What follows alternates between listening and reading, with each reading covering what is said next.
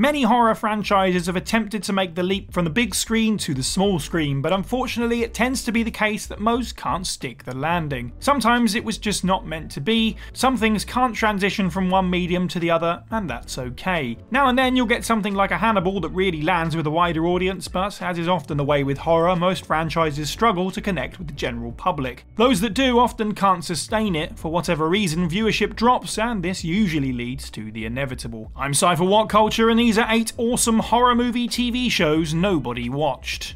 Number 8, Friday the 13th, the series.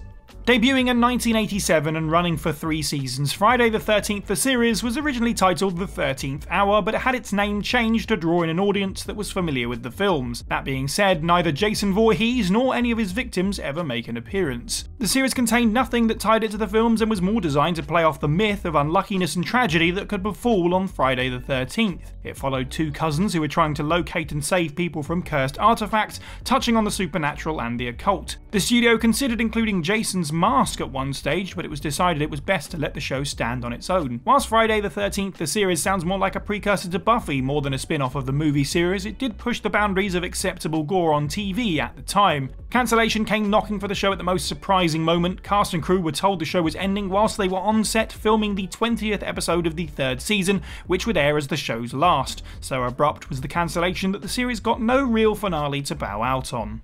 Number 7 Tremors. The Tremors TV series really tried its best to spin off from the films, featuring returning characters and other familiar faces to widen the franchise after the release of Tremors 3, it had huge potential. Much like the movies, the show's special effects were cheap, but the Monster of the Week style actually suited it perfectly. Sometimes funny, intentionally or otherwise, and sometimes genuinely unnerving, the show was as good natured and full of heart as the Tremors films that had inspired it. If anything, its format seemed like a stroke of genius. When the show debuted, it was actually sci fi's biggest pilot in history, however, viewership dwindled week to week. One thing that didn't help Tremors maintain its big audience was that, for whatever reason, the station decided to show the episodes out of order. Some editing was done to gloss over any inconsistencies in the story, but this only furthered watered down the show's potential. When the ratings dropped below what the channel had experienced with Farscape, which had been showing in the same time slot previously, Tremors was killed off after only half a season. It wasn't until the 2010 DVD release that fans could finally enjoy it as it was meant to be shown. Number 6. Scream. One thing that the Scream series did so well was slow everything down and allow its story to breathe. A full two seasons with characters is a lot longer than your standard slasher flick, so it's much more time to get to know these people and feel more connected to them. On top of this, having protagonist Emma's mother directly linked to the history of a serial killer gave it a little more than just the teen drama feel from the films. Season 1 of the show was shaky at times and its references felt forced, but it's worth it to enjoy the follow up, which does some truly shocking things. The lore of the original season deepens, established characters die, and there's even some very tasteful homages to the Scream lineage. Unfortunately, instead of building upon the success, the show's third season ditched its cast to do a massive reset. In doing so, the quality took a hefty nosedive. Rather than carry on the style that the show had established, it tried much harder to be the Scream everyone remembered, and in doing so, it alienated an audience that had warmed to the standalone spin off. Regardless, there's still plenty of fun and scares to be had in the first two seasons of Scream that have all the red herrings and brutality you'd hope from the franchise. Number 5 Castle Rock. Castle Rock, Maine is the fictional town that a good number of Stephen King stories take place in or make reference to. Whilst King's work has had plenty of TV and film adaptations, the town itself finally got its chance to shine in 2018. Castle Rock as a show was somewhat of a dream come true for hardcore Stephen King fans, as it was able to touch on so many of his works, be they adapted plots or clever winks and nods. Salem's Lot, The Shining, Shawshank Redemption, just to name a few, get their fair share of references. The casting was also superb, featuring several prolific actors who were no stranger to Stephen King's world, such as Bill Skarsgård, Sissy Spacek, and Tim Robbins.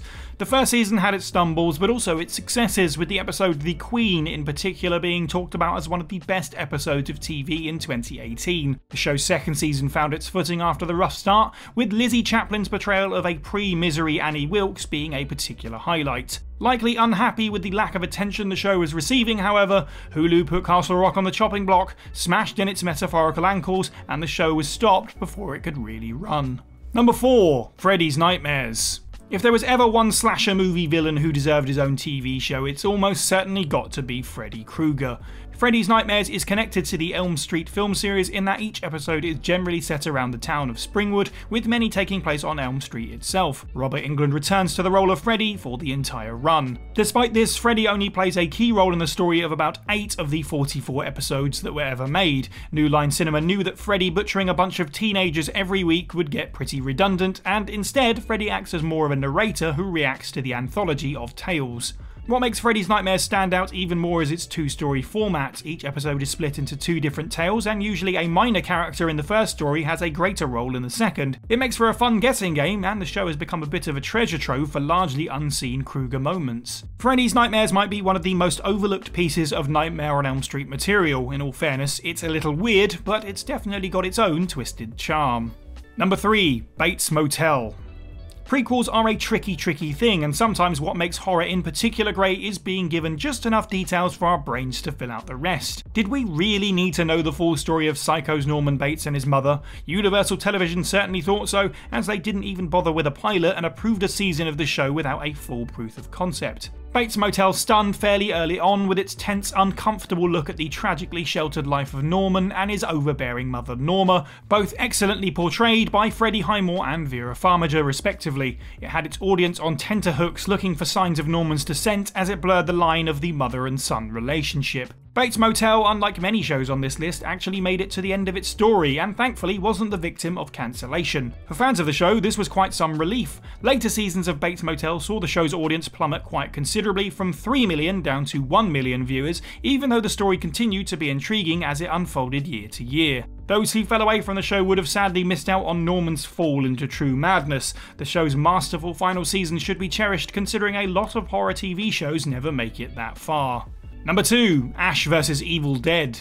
You can never keep a good Deadite down, and the Evil Dead franchise has had a hell of a history since it debuted in 1981. Starting as a B movie horror, the series twisted into a zany time travelling adventure with 92's Army of Darkness. This film would be the last real time we saw Bruce Campbell's Ash on our screens until 2015's revival of the franchise with the series Ash vs. Evil Dead. The show picks up decades after the last mainline film, with Ash being pulled out of his normal life to once more fight off the Horde of the Dead. It was awesome to see more of the character's home life, and the series allowed us to get closer to who the character was more than ever before. Alas, Ash vs. Evil Dead fell victim to the sharpest blade when it comes to cutting shows out from the schedule. The show's third season saw a significant drop in viewership, with more than half of its audience abandoning the show. Thus, Starz cancelled it.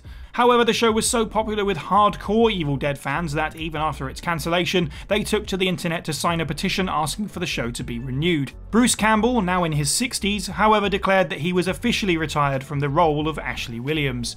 Number 1 The Exorcist. The Exorcist stands tall today as one of the most tense and effective pieces of horror storytelling. With its success came sequels, but none came close to the majesty of the original. The recent TV series certainly worked hard to crawl out under the shadows of those unworthy sequels. Whilst taking plenty of nods from the film, The Exorcist show grew the concept outwards. Different Christian priests butt heads as they faced down the possible demonic presence targeting a family. The Exorcist was slow, deliberate, and had some pretty stellar special effects, all things that felt right at home with the core identity of the franchise. Unfortunately, for all that it did right, The Exorcist surprised its audience by coming in as Fox's least watched show of 2017, which pretty much meant curtains immediately. Showrunner Jeremy Slater took to Twitter to take the heat off the situation and thanked Fox for renewing them for a second season, despite the fact they had always been dragging in the ratings. Sadly, this cancellation left so much unanswered about the show's story. Whilst it's easy to say that we could just enjoy the fact we finally got a worthwhile follow up to the 1973 movie, it would have been just that little bit nicer if its potential hadn't been excised by low viewership.